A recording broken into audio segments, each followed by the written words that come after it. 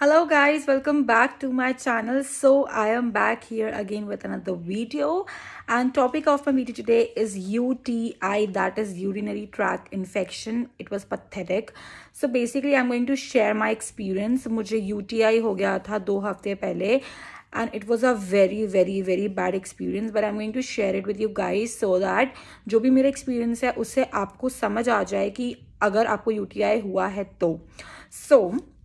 what happened with me was that I got my periods and do din baad what happened that it was very very painful. It was burning when I was peeing and I usually drive two wheeler okay? So whenever I was driving and there was a bump or a breaker jab bhi breaker aa tha I was feeling pain on my lower abdominal. Then I realized ki I got UTI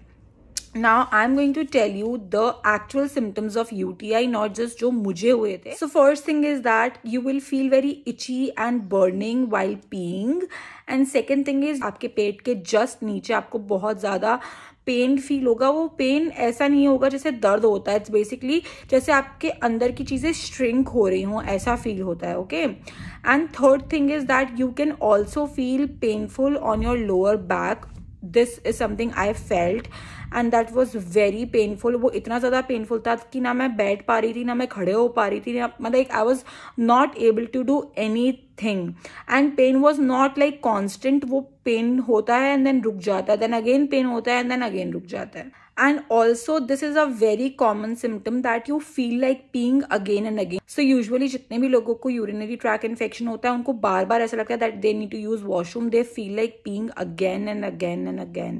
but when you actually go to the washroom there is nothing well uh, after researching I realized that you also feel tired and you also uh, can have fever or chills if you will observe your urine will smell different and looks different as well you will see that it's little cloudy. So, basically, there are three types of UTI first UTI जो होता है, वो आपके bladder में होता है okay okay? And जब आपके वो ब्लैडर में यूटीआई होता है तो आपको बार बार लगता है you need to go to the washroom you need to pee and whenever you pee और वाइल पीइंग और after peeing you kind of feel a pressure और you feel very itchy second type of UTI जो होता है आपको uterus में होता है. एंड जब आपको यूट्रस में यूटीआई होता है तो you can see some white discharge and the same thing कि while peeing you feel itchy now third UTI जो होता है, वो होता है आपकी किडनी में, जब आपको किडनी में यूटीआई होता है तो आपको बहुत पेन होता है डोमिन में बैक में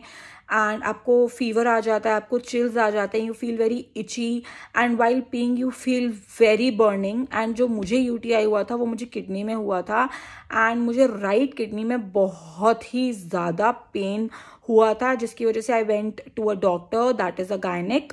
and then मेरे सोनोग्राफी एंड बाकी सारे टेस्ट भी हुए थे and luckily everything was fine तो बेसिकली अगर आपको ऐसे कोई भी सिम्टम्स हो रहे हैं तो वेट करने की बिल्कुल भी ज़रूरत नहीं है। ऐसा मत सोचो कि ये वाली दवाई खा के देख लेती हूँ, शायद ये हो रहा होगा, शायद वो हो रहा होगा। ऐसा कुछ भी होता है just go to the gynaec and get yourself checked and most important thing I want to tell you is कि जो यूटीआई है, वो मैक्सिमम टाइम समर में होता है। पानी ना पीने से, पानी की कमी से, या बहुत ज़्यादा हीट से, आपकी बॉडी बहुत ज़्यादा हीटेड पीरियड होती है तो भी आपको यूटीआई हो जाता है।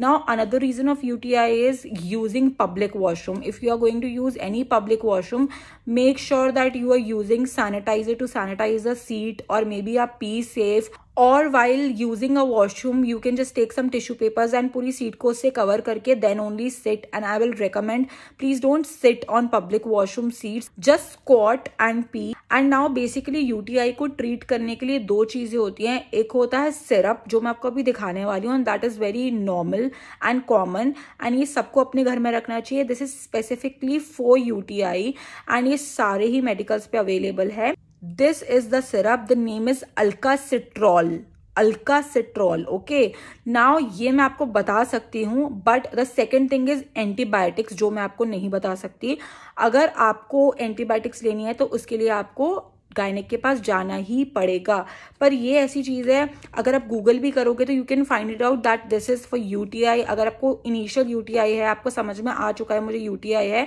आप इस सिरप को दिन में दो या तीन बार पानी में डिजोल्व करके कंज्यूम करेंगे तो नेक्स्ट डे से इट विल बी गॉन अगर वो स्मॉल स्टेज पे है तो। बट अगर वो बड़ी स्टेज पे है तो you must go to our gynaec. third thing is consume a lot of water drink coconut water juices and please avoid tea coffee and all these drinks which uh, tend to dehydrate your body third most important thing which is recommended by doctor is to drink cranberry juice i don't know what is the reason but it is said if you are going to consume cranberry juice it is going to help you मैंने legit feel किया है pain i would recommend all the girls all the ladies not just girls but boys as well Please take care of yourself please कहीं पे भी public washroom use मत करो. Please drink a lot of water because UTI is really bad trust me it is really bad you feel irritated itching while peeing you feel like your heart is coming out because it's so painful. And if you have abdominal pain, that's another level. So just please please take care of yourself. Also, मैंने इस पे पहले भी video बनाया है and बताया है कि कैबिन क्रू को यूटीआई बहुत ऑफन होता है। उसका रीज़न होता है कि एयरपोर्ट या एयरक्राफ्ट का वॉशरूम क्योंकि वही वॉशरूम इतने सारे पैसेंजर्स यूज़ करते हैं एंड वही वॉशरूम आप लोग यूज़ करते हैं। तो जो कैबिन क्रू है, उनको बहुत जल्दी होता है। अगर आप कैबिन क्रू हैं, बनने वाले हैं, बन चुके हैं always carry a pee safe or a sanitizer with you and just in case if you have any doubts तो मेरी knowledge में अगर कुछ होगा तो you can comment below and I will try to revert back so that's it bye